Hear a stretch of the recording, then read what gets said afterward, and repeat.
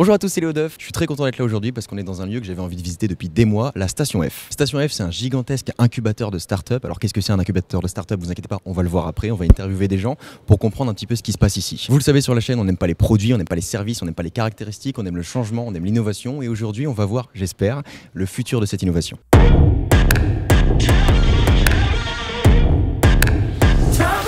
Bonjour Catherine. Bonjour. Tu es la directrice marketing de vente privée et c'est toi qui as la lourde tâche de nous expliquer ce que c'est la station F. Bonne chance. Bon, on m'a dit qu'il fallait que je, je sois simple dans ce que je racontais, donc je vais tenter alors.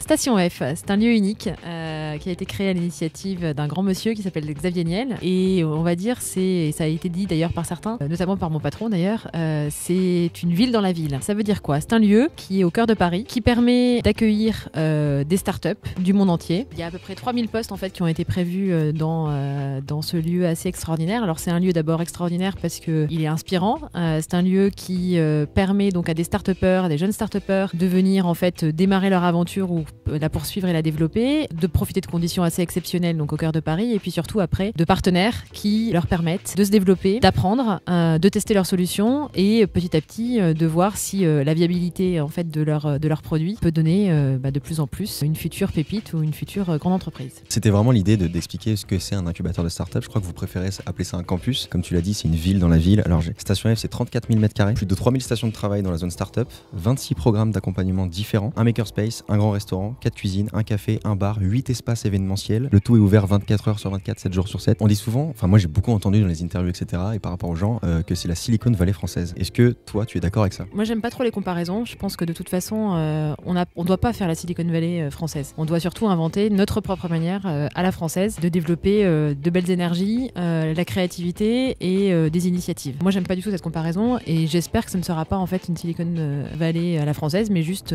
un lieu d'où vont naître les futures grandes entreprises de demain et les futures grandes idées de demain. J'ai lu que c'était le plus grand incubateur de start-up au monde, c'est vrai? Je, je crois qu'effectivement, en taille en tout cas, c'est effectivement un des lieux qui est les plus grands, effectivement, et avec le plus de postes et de capacités d'accueil. Ouais.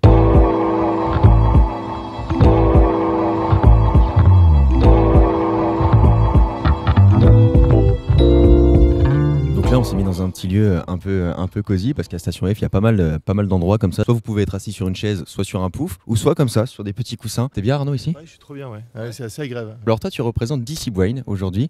Euh, Est-ce que ça, ça a l'air compliqué comme ça, DC Brain Qu'est-ce qui se passe? Qu'est-ce que vous faites à DC Brain Nous, on va s'occuper des gros réseaux physiques des villes, genre les réseaux électriques de la ville de Paris, ou des gros réseaux de gaz, ou des réseaux de chauffage central des villes, ou dans des grosses industries, ce genre de choses. Et en fait, c'est des réseaux qui commencent à coûter de plus en plus cher, qui sont de plus en plus compliqués. Et donc nous, on utilise euh, tout ce qui est intelligence artificielle pour aider les gens à mieux prendre en charge ces réseaux, à mieux les exploiter. Tu fais partie du, euh, de la Station F, du coup, forcément. Et ton incubateur, c'est Microsoft. Pourquoi? Parce que euh, un truc assez sympa dans ce qu'ils ont proposé, ils nous ont dit on voudrait construire une communauté autour de l'intelligence artificielle, euh, donc on voudrait que vous en fassiez partie, et ça c'est super important parce que tu peux pas faire d'IA sans des universitaires, sans d'autres startups, sans des industriels, etc. Et donc la notion de communauté est super importante. Et le fait d'être chapeauté par Microsoft, ça donne un peu de, de poids en fait à cette initiative, et donc ça nous a vachement plu, et c'est pour ça qu'on est venu. Je te pose la question parce que je trouve ça extrêmement intéressant que Microsoft s'intéresse particulièrement à l'intelligence artificielle parce qu'on en a beaucoup parlé sur la chaîne euh, récemment. On est à Station F, donc toute la vidéo, on va pas arrêter d'entendre parler de start-up. Est-ce que tu peux nous expliquer vraiment ta définition, ta propre définition d'une start-up? Petite structure, jeune, agile, et qui doit proposer des, des choses en rupture, et répondre à un vrai euh,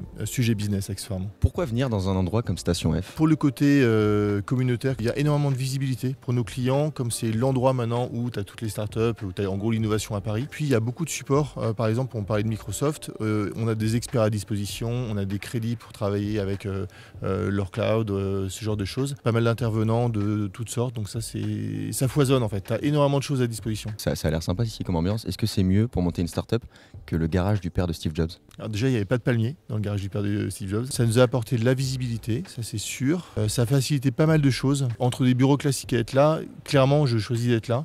Bonjour Christophe, tu représentes Microsoft. Alors là, les gens se demandent qu'est-ce que tu fais là? Microsoft, c'est plus vraiment une start-up? Alors non, effectivement, Microsoft, c'est pas la start-up du, du- du coin, si je puis dire. Nous, on est là pour euh, aider les start-up euh, à Station F et en particulier pour les aider dans, dans leur découverte du monde de l'intelligence artificielle. Donc vous êtes un incubateur à l'intérieur de l'incubateur? Alors oui, en quelque sorte, euh, ce qu'on veut faire ici, c'est se spécialiser sur justement l'intelligence artificielle et aider en fait à créer en France, sur la base de, de quelques startups d'abord et puis après de, de- de plus d'entre elles, d'aider à créer des champions de l'intelligence artificielle, comme d'autres ici, ben, en d'autres programmes. On a des gens qui font de la réalité virtuelle. Vous avez Ubisoft qui fait du jeu. Et nous, voilà, on s'est spécialisé, j'allais dire, dans le, développement de l'intelligence artificielle à Station F. Est-ce que le but, c'est de former des nouveaux talents pour euh, les recruter après chez Microsoft? Alors non, c'est pas le but. Ben, alors, je dis pas qu'on va s'interdire de recruter des gens si, voilà, pourquoi pas.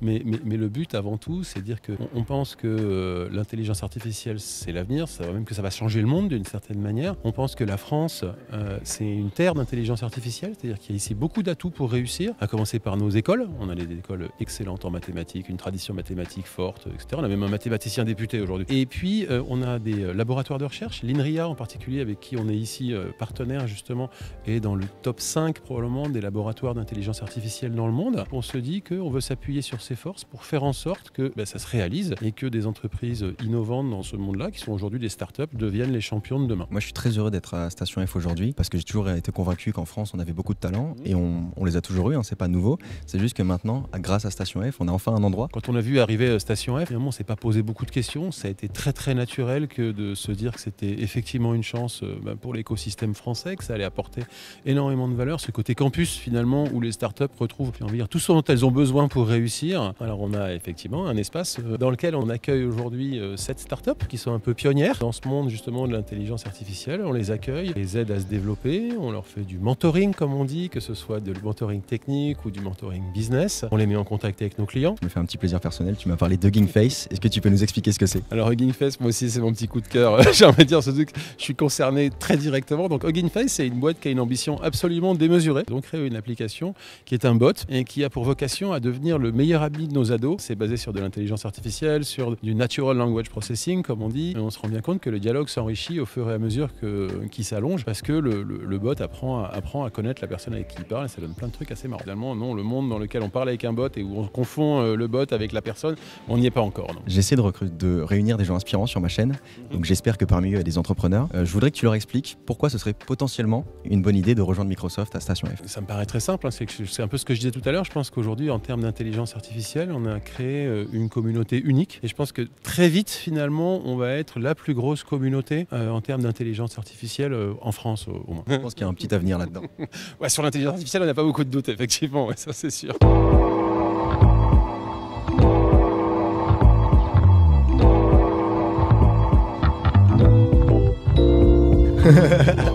ça fait très, ça fait très film porno quand même. Bonjour Terence on est plutôt bien là. On est calé dans une, euh, dans une salle insonorisée, donc on peut crier, on peut dire tout ce qu'on veut. On est sur des espèces de gros poufs, tranquillement. Je crois que j'ai jamais fait une interview aussi agréable. Tu vas nous présenter ta startup qui s'appelle ShipUp. On permet aux e-commerçants de se réapproprier la relation client pendant la livraison. L'idée, c'est que les e-commerçants perdent des clients bah, suite à des problèmes de livraison. On a tous reçu un colis euh, ou pas reçu de colis en achetant en ligne et on s'est dit, bon, bah voilà, euh, très mauvaise expérience, je reviendrai plus chez eux. Alors qu'en fait, bah, c'est plutôt le transporteur qui a eu un problème avec la livraison, mais c'est l'e-commerçant bah, qui va perdre un client. Donc nous, on va résoudre ce problème. L'e-commerçant a quand même un devoir de communication avec son client, lui expliquer ce qui s'est passé, ce qu'il peut faire, et notamment ils ont aussi accès aux données de suivi de livraison. Et donc nous, on permet à l'e-commerçant bah, de suivre tous ses colis, par exemple, notifier proactivement un client lorsqu'il y a un problème de livraison ou lorsque le colis est en retard, et en utilisant ses propres mots, son propre univers de marque. Depuis qu'on est à Station F aujourd'hui, on a entendu plein de fois le mot startup.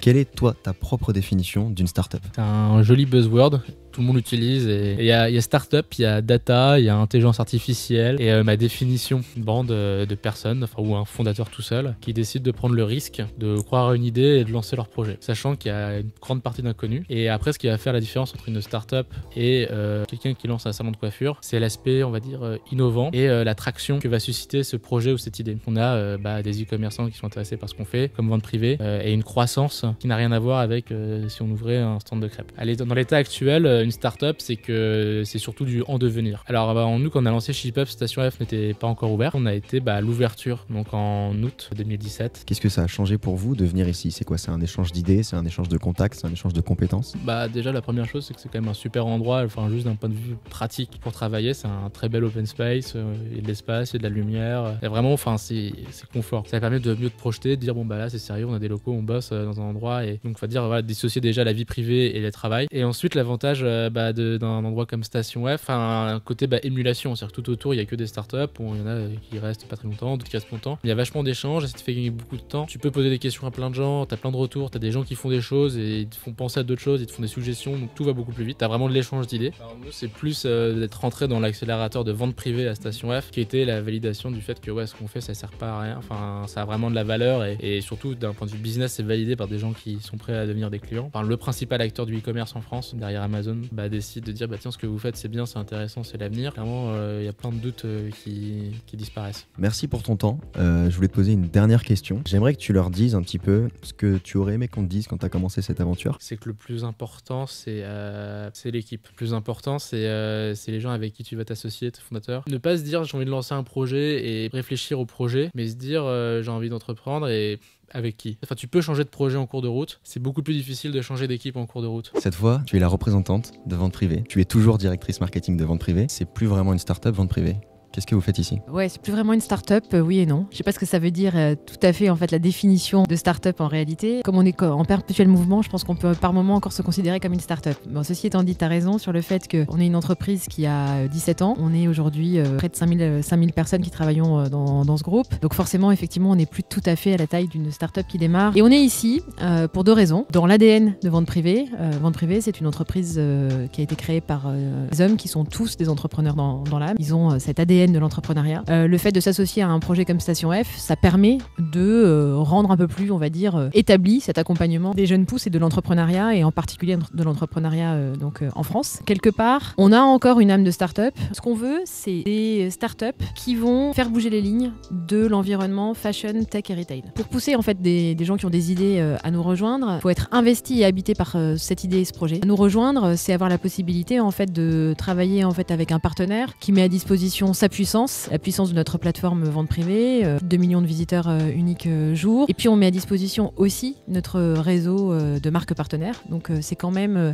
la possibilité d'assez vite s'ouvrir un réseau de test and learn à une échelle qui est assez euh, inégalée, je pense, euh, dans ce genre de démarche. Ça a été un honneur pour moi de visiter cet endroit. Ça faisait des mois que j'avais envie de visiter Station F. Un honneur pourquoi? Parce que sur cette chaîne, on passe notre temps à interpréter le futur. On passe notre temps à essayer de comprendre ce qui va se passer, etc. Je pense vraiment que le futur se trouve ici. Si jamais vous êtes un entrepreneur, si jamais vous avez des idées, il n'y a pas besoin de gros diplômes pour entrer à Station F. Vous avez besoin d'une bonne idée, vous avez besoin d'innover, vous avez besoin de travail. Et j'espère que certains d'entre vous sur cette chaîne, certaines personnes qui regardent cette vidéo, euh, le sont. J'espère qu'il y a le futur Steve Jobs parmi vous. Euh, si c'est le cas, si vous pensez que c'est le cas, si vous êtes assez arrogant pour savoir que c'est le cas, et ça me plaît beaucoup, vous le savez très bien, je vous mets le lien du projet Station F en description pour pouvoir rentrer quand il y a de la place. Merci à tous, c'était Léo.